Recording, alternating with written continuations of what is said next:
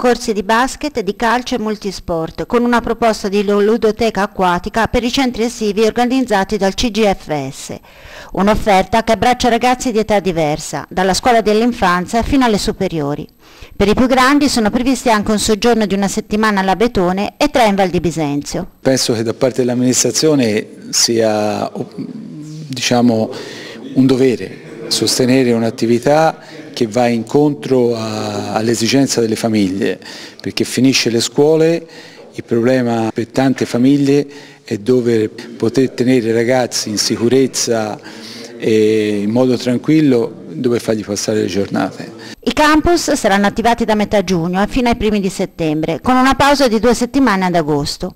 Gli spazi messi a disposizione sono la scuola Meucci, i campi della Cicoiano Santa Lucia, gli impianti sportivi 2A, la piscina di Via Roma, fino agli impianti sportivi di San Paolo.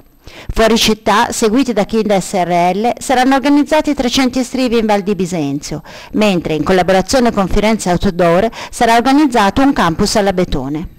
Siamo di nuovo d'estate, qual è la proposta del CGFS?